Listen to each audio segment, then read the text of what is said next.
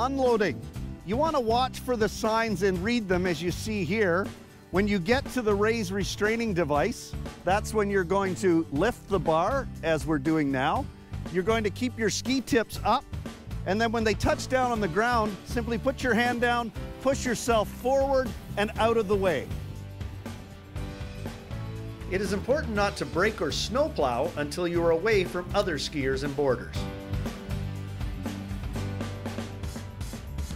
For surface lifts, disengage and move away from the unloading area.